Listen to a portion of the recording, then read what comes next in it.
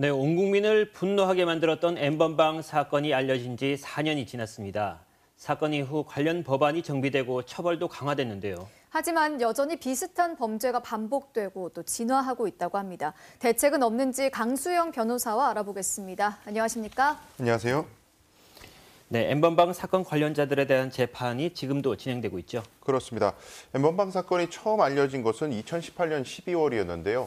대구의 한 여고생이 성폭행을 당하고 그 영상이 인터넷에 유포가 되면서 어, 경찰이 수사에 착수했고 어, 미성년자들을 집에 협박해 성착취 영상을 제작하고 이를 유포했던 거대한 집단 범죄의 실체가 드러나기 시작했습니다. 네. 성범죄 사건 최초로 범죄단체 조직죄를 적용을 해서 엄하게 처벌한 결과 조주빈이 징역 42년, 문형욱이 징역 34년 등 관련자들이 중형을 선고받았는데요. 아직까지도 강간이나 뭐 강제추행 등의 혐의로 재판이 계속 이어지고 있는 상황입니다. 네, 국민적인 분노가 컸던 사건이잖아요. 그만큼 관련 법이 좀 정비가 됐을 것 같은데 어떻습니까? 네, 사건 이후에 이른바 엠번방 방지법이라고 해서 이렇게 분류되는 법들이 2020년을 기점으로 해서 많이 통과가 됐습니다. 대표적으로 개정 성폭력 범죄의 처벌 등에 관한 특례법은 집단 성범죄나 13세 미만자에 대한 성범죄에 대해서 법정형을 대폭 상향했고요. 고의로 이 불법 성적 촬영물들을 소지, 구입, 저장 또는 시청한 자 모두 상면 이하의 징역 또는 3천만 원 이하의 벌금에 처할 수 있도록 했습니다. 또 한편 이 성적 욕망이나 수치심을 유발할 수 있는 이런 영상물들을 이용해서 사람을 협박하거나 강요한 자는 각각 징역 1년 또 징역 3년에 처할 수 있도록 했거든요. 또 이런 처벌뿐만이 아니고 어, 개정 전기사업통신사업법은 이런 카카오톡과 같은 전기통신 사업자들에게 이 불법 성적 촬영물들이 유포되지 않도록 하는 방지 의무를 부과했고요. 또 경찰은 단순 시청자들의 신상 정보도 공개할 것을 검토하는 등 많은 변화가 있었습니다.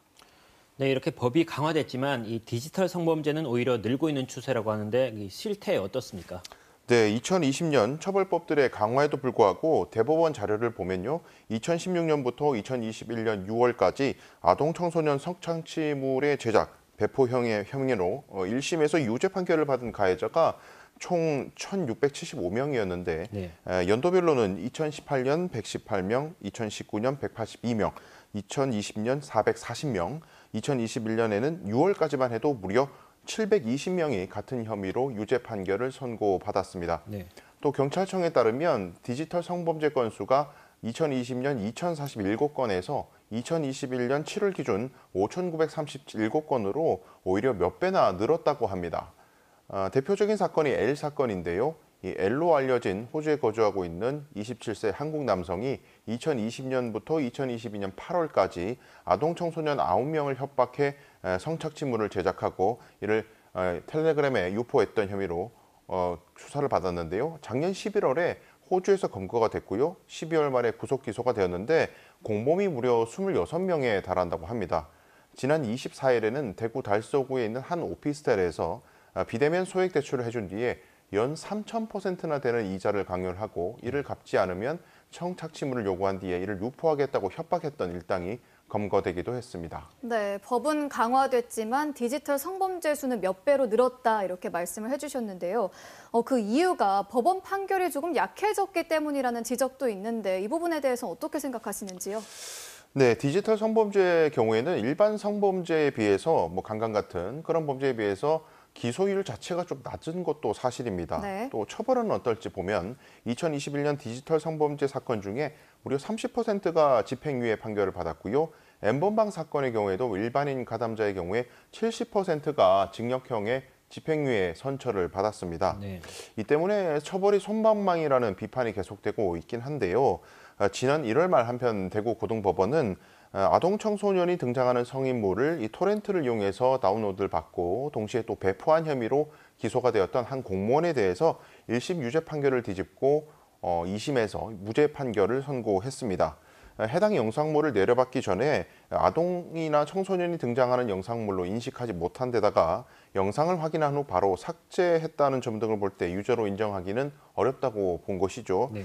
피고인을 처벌하려면 알고서 시청했다라는 명확한 증거가 있어야 된다는 기준을 제시한 건데요.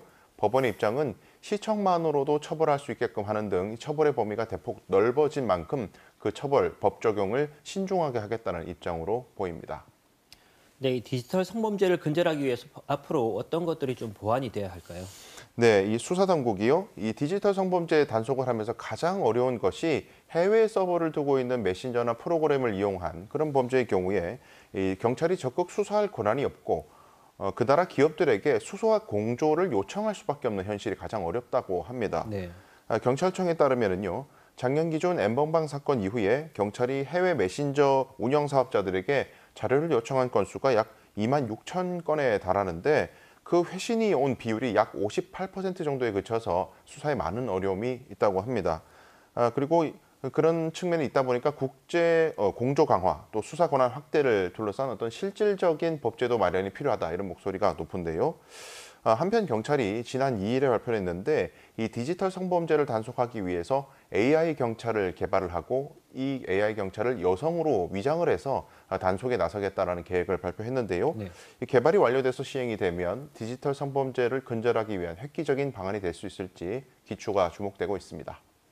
네, 친절한 법 오늘은 엠번방 사건 이후의 변화에 대해서 알아봤습니다. 강소영 변호사님 오늘 말씀 고맙습니다.